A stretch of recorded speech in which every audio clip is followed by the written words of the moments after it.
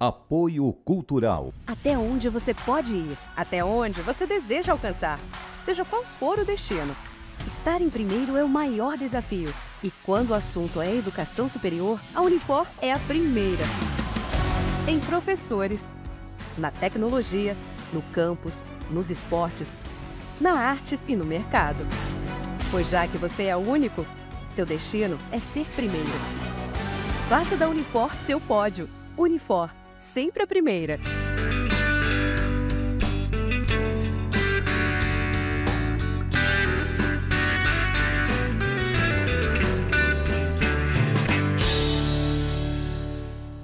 Viver Mais no ar e hoje a alegria de tomar aqui um café com o professor Vicente Cristino. Professor, seja muito bem-vindo ao Viver Mais, um brinde à vida. A vida. Professor Vicente Cristino, da Universidade de Fortaleza, é um especialista em educação física, sempre trabalhou há mais de 35 anos com pessoas com deficiência. Professor, óbvio que eu quero saber como foi que surgiu esse interesse do senhor em trabalhar com pessoas com deficiência. A falta de profissionais qualificados nessa área, descaso da sociedade e a discriminação frente às atividades físicas direcionadas para as pessoas com deficiência. Professor, isso há 35 anos o senhor já tinha essa visão quando não se falava tanto em deficiências, né? O, o, a pessoa que tinha algum problema era escondido, ficava no fundo do quintal da casa, a família tinha vergonha. Como é que despertou isso, professor? Quando ficava no fundo do quintal, muitos mandavam para outros estados e outros abandonavam. A pergunta vai: ainda acontece hoje? Sim, ainda temos essa situação. Abandono das pessoas com deficiência e ainda existe, ainda hoje. Mas como é que o senhor despertou há 35 anos para se especializar nessa área? O currículo do professor Vicente Cristino é imenso, é especialista, é mestre. É, professor, como foi? Tem algum caso na família do senhor? Nenhum caso. E a minha profissão antes, pode dizer, não tinha nada a ver com essa área. Qual era, professor? Eu era militar. O senhor era militar? militar. Larguei a vida militar para me dedicar a essa área. Foi para a educação física. Uma delas, o meu primeiro cliente que eu trabalhei com uma reabilitação é que está ali falando à sua frente. A minha pessoa. Eu, em um acidente, levei um tiro e eu mesmo atrás de profissionais para trabalhar a minha musculatura da minha perna, não encontrei. Como eu já estava também estudando a área da educação física, fui ler e fiz um trabalho em cima da minha pessoa. Nossa, professor. E não ficou nenhuma sequela. Porque tratou. Trabalhamos em cima, foi tratado. Então, qualquer deficiência, professor, se chegar um profissional como o senhor dessa área, ela pode ser revertida ou amenizada? Que tipos de deficiências podem ser amenizadas a partir de um profissional da Vamos área da observar, física? nós temos duas situações. Sim. As deficiências congênitas e as deficiências adquiridas. Foi o caso do senhor, né? meu foi a- adquirida, mas eu não cheguei. Tive um, um acidente que Sim. a gente coloca. Mas vamos, vou dizer assim, aleatoriamente. Uma pessoa que sofreu um acidente de moto, que o índice é muito grande, e teve uma perna amputada, ou teve um traumatismo crânioencefálico, ou teve uma lesão medular, ele vai ficar com a sequela permanente, porque a perna não vai nascer novamente. Sim. Mas o que é que nós vamos fazer? Fazer um trabalho de atividade física adaptada, de esporte adaptados, para que ele não venha ter deficiências secundárias. Por exemplo, você perdeu uma perna, você perdeu a postura do teu corpo. Você vai precisar utilizar de uma prótese. Aí eu vou para uma outra. Por quê? Essa outra aqui eu alerto, vamos para as nossas vacinas. A poliomielite, paralisia infantil. Praticamente nós não temos mais casos no Brasil há mais de 15 anos. Mas as pessoas não estão levando os filhos para vacinar.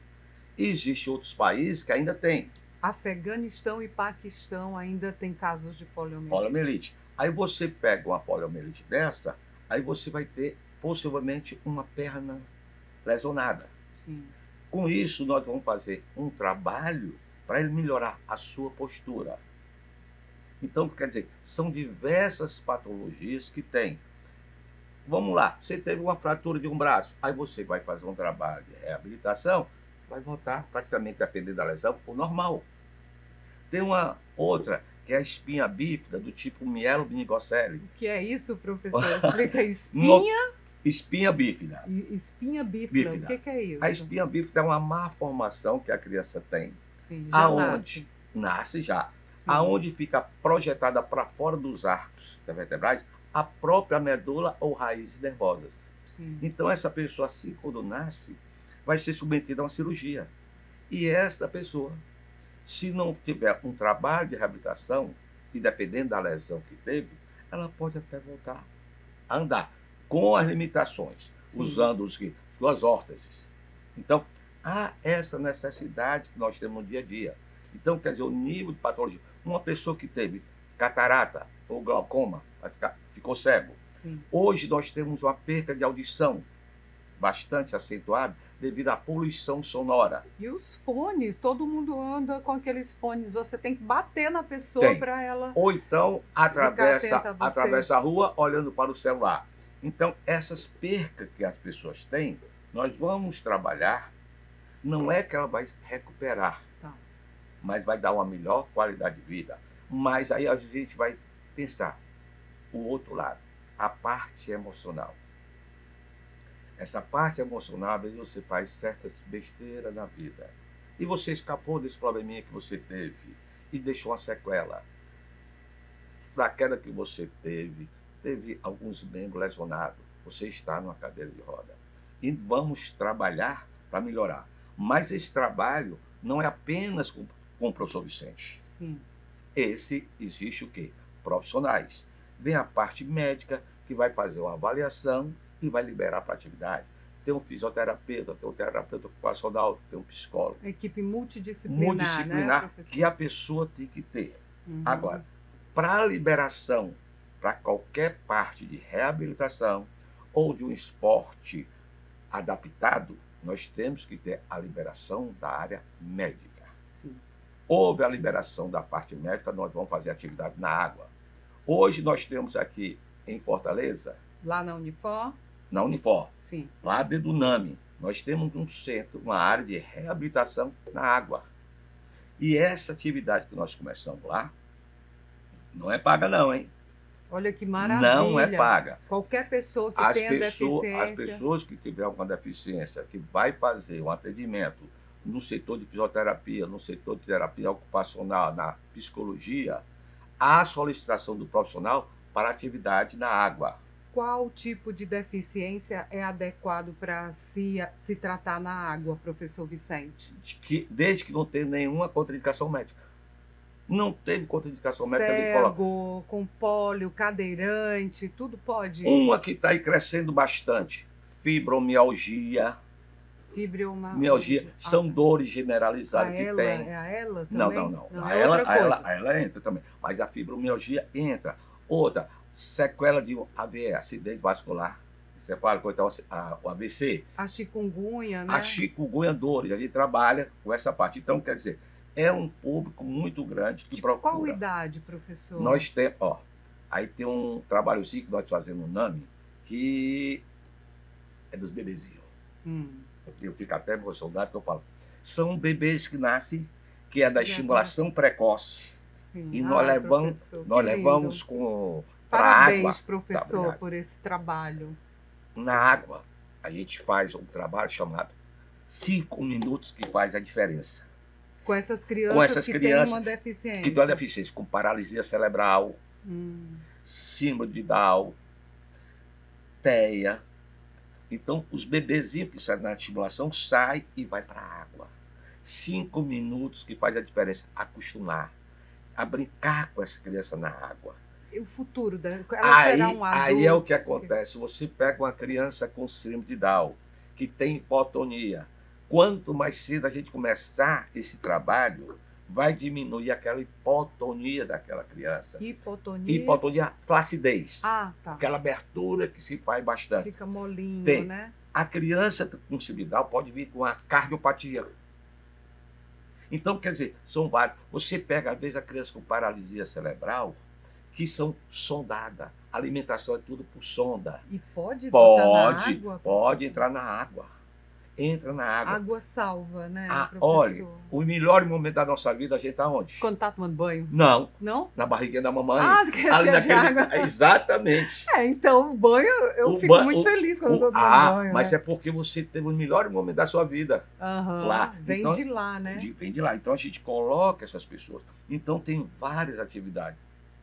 Por exemplo, além da Unifor, nós estamos lá na Sociedade de Acesso ao Cérebro. Eu já ia questionar isso também. Eu vou te dizer a professor. seguinte coisa. Esse programa que eu vim para cá, obrigado pelo convite, eu fui liberado lá da sociedade que nesse exato momento era para eu estar lá. Sim. Então tem uma turma lá que está me esperando, quando eu sair daqui, que nós vamos fazer atividade física com as E- e pessoas, com- não só com o cego, cego, baixa visão, tudo, porque lá é uma escola regular. Tem atletas até, né, Temos. professor? A gente viu a- as Olimpíadas Paralímpicas e como a gente começou aqui a nossa conversa falando que antigamente o senhor disse que ainda hoje existem é, esconder uma pessoa com deficiência. Mas essas pessoas são capazes, assim como nós que nos consideramos normais, né, professor? Olha, todos nós somos capazes. O, quando você nasce com a deficiência ou adquiriu, você vai para a prática de uma atividade física. Esse E é essa- o caminho. É o caminho. Nessa prática da atividade física, você vai despertar. Você pode trabalhar só para manter uma boa saúde, Sim. prevenir deficiência secundária e também pode te levar a uma prática para tu ser um atleta de alto rendimento. Hoje você tem aqui dentro de Fortaleza esporte que você já viu e poucos daqui têm conhecimento. Esgrima adaptada Esgrima, com pessoas com deficiência. com deficiência motoras. Nós A esgrima, assim, aparentemente, desculpa, professor, é, você vê aquelas espadas, a pessoa com aquela vestimenta Sim. muito ostensiva. Diz assim, isso aí serve para alguma coisa? Que- E muito. É, porque quando você está na sua cadeira de roda, fazendo movimentos todinho, você está trabalhando sua coordenação motora. Bastante. E você está no meio, praticando o esporte. Outro Tá esporte que você pode fazer, que tem um projeto Remar, canoagem para deficientes. Todas as quartas-feiras, o projeto Remar está lá. E a turma do NAMI, Da uniforme. da Unifor, do NAMI, Sim. sai e vai fazer a canoagem também. Participa de canoagem. Pessoa lá da Sociedade de ao Cérebro sai e vai para canoagem. Professor, eu questionei a, a idade. É, a criança, quando nasce com alguma deficiência, é possível é, dar mais qualidade de vida. E uma pessoa longeva, velha, digamos assim, com a idade já avançada, como é que fica a situação dessa pessoa que não teve essa oportunidade de passar por profissionais capacitados como o senhor? e que é um- uma pessoa já com idade 60, 70, 80 e que tem uma deficiência. O senhor responde no próximo bloco. Viver Mais volta já.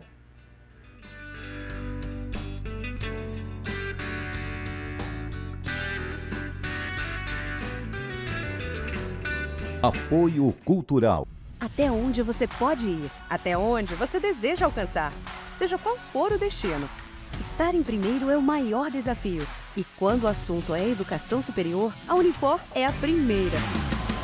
Em professores, na tecnologia, no campus, nos esportes, na arte e no mercado. Pois já que você é o único, seu destino é ser primeiro. Faça da Unifor seu pódio. Unifor, sempre a primeira. Até onde você pode ir, até onde você deseja alcançar, seja qual for o destino. Estar em primeiro é o maior desafio. E quando o assunto é educação superior, a Unifor é a primeira. Em professores, na tecnologia, no campus, nos esportes, na arte e no mercado. Pois já que você é o único, seu destino é ser primeiro. Faça da Unifor seu pódio. Unifor, sempre a primeira.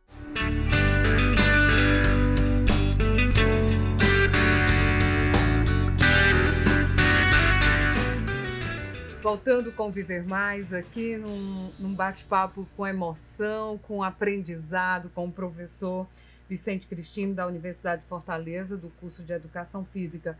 Professor, eu deixei lá.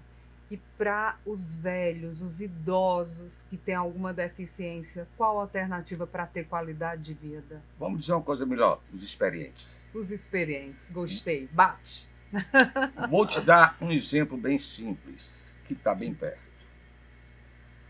Um dos trabalhos com idosos mostrei para uma jovem, para uma senhora, que Deus o tenha. Dona Vilani, minha mãe. Lá vem mais emoção, falar de Por quê? mãe, né? Por quê? professor? Ah, Eu botei a minha mãe para fazer atividade na água aos 70 anos de idade. E daí por diante ela gostou.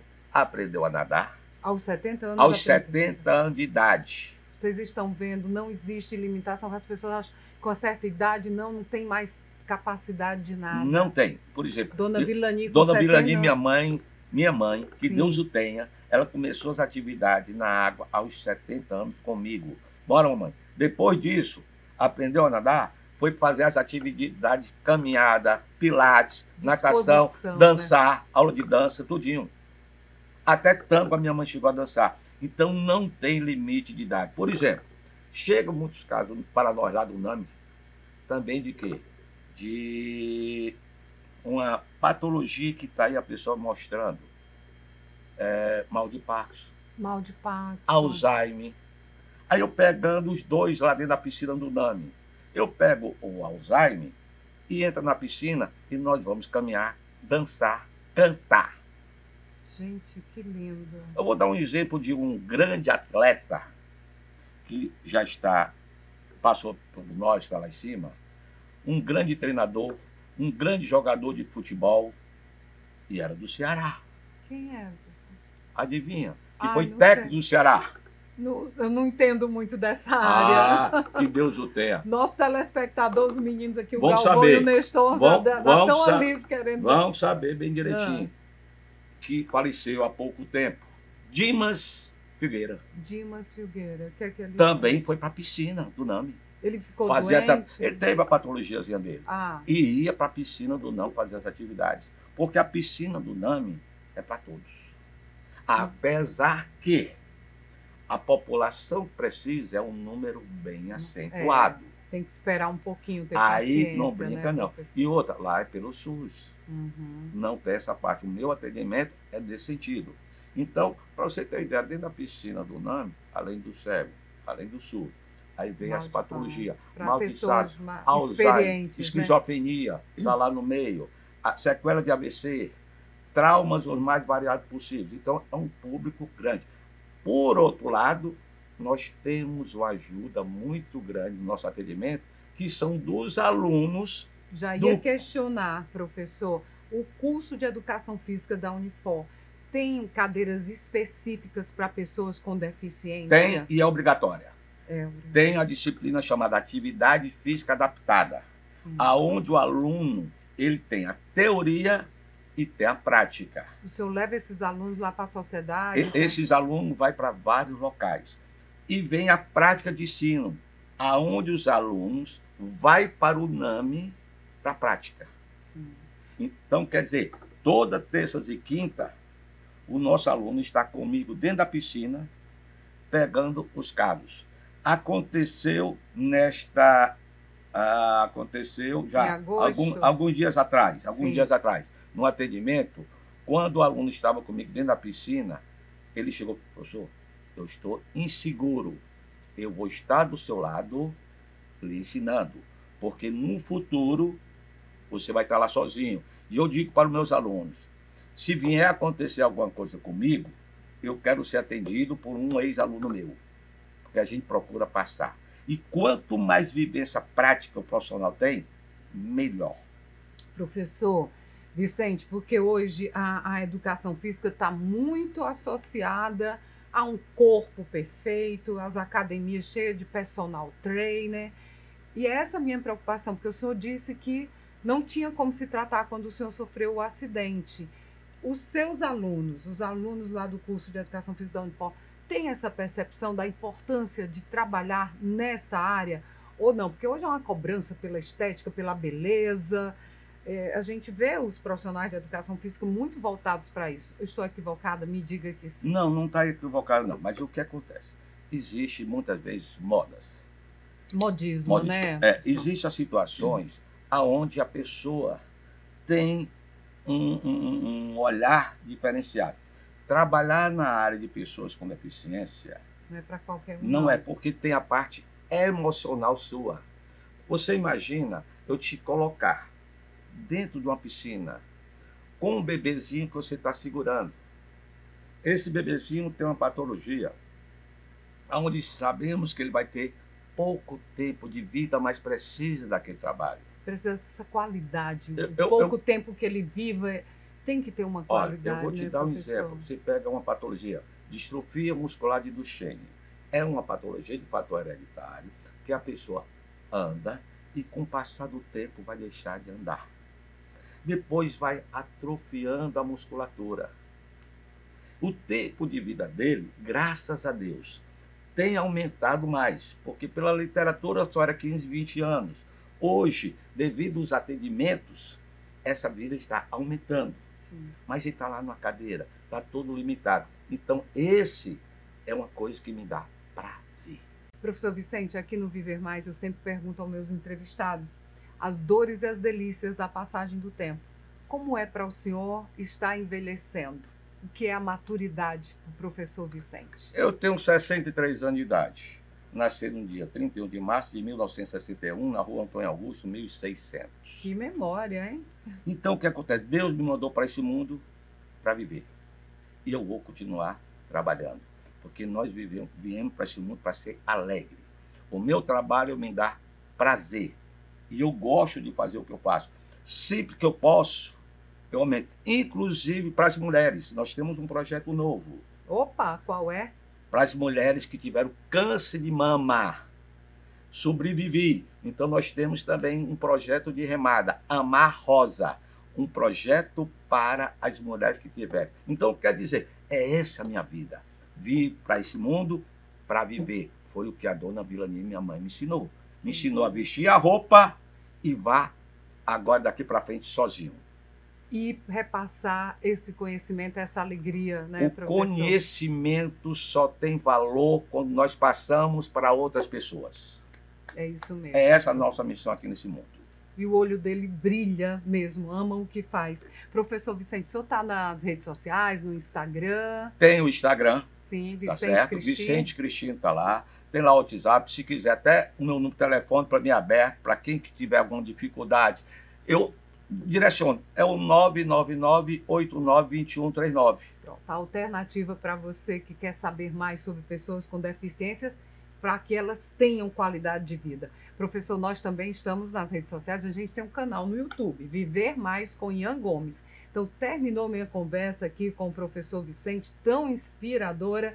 Você vai lá no nosso canal, assiste de novo, repassa. E o meu Instagram, Ian Gomes, jornalista, segue lá, gente. Tem sempre uma novidade sobre o Viver Mais. Professor, um brinde à vida novamente. Que aprendizado. Continue fazendo esse trabalho. O senhor vai- Vivendo com alegria. Alegria e saúde sempre. O Viver Mais de hoje fica por aqui. Até o nosso próximo encontro. Combinado?